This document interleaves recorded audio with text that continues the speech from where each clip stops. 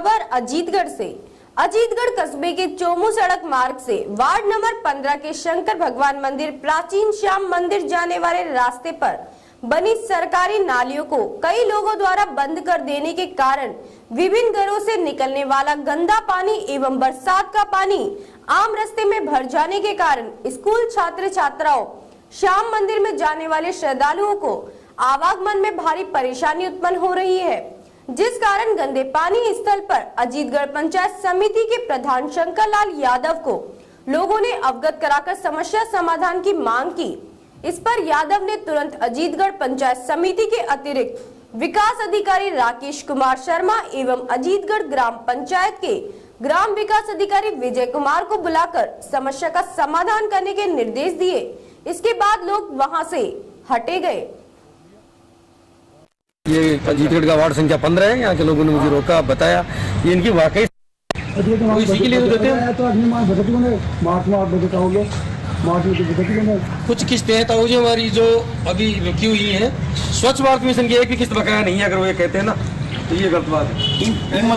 पे एक रुपये बाकी को बता दे। अभी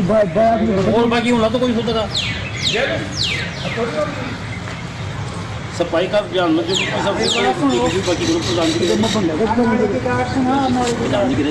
के मैं तो रिग्रेट गार्ड खुलवाएँगे लेकिन इसका हम ये भी देखेंगे कि पानी जाएगा किधर जाएगा उधर? हाँ जान ग्रामवासियों ने अवगत कराया था मैंने मौका देखा है। वास्तव में यहाँ पानी खूब भरा हुआ है। लड़कियों की आवागमन का रास्ता भी स्कूल में जाने का यही है। इसके लिए ग्राम पंचायत के ग्राम विकास अधिकारी श्री विजय कुमार जी को बुलाया है इस समस्या को निस्तारण कराने की कोशिश। अजीतगढ़ ग्राम पंचायत में जब मैं इधर से गुजर रहा था तो स्कूल जाने वाली छात्राएँ यहाँ से फिसल फिसल के इस कीचड़ गिर रही थी। आसपास के लोगों ने मुझे रोक लिया। वार्ड, ये अजीतगढ़ का वार्ड संख्या पंद्रह है, यहाँ के लोगों ने मुझे रोका, बताया। ये इनकी वाकई समस्या है, बहुत ज़ाहिर समस्या है। सरकार के द्वारा स्वच्छ भारत मिशन के तहत इतना पैसा जारी होता है और उसके बावजूद या इस दरमियान कीचड़ भरा हुआ है।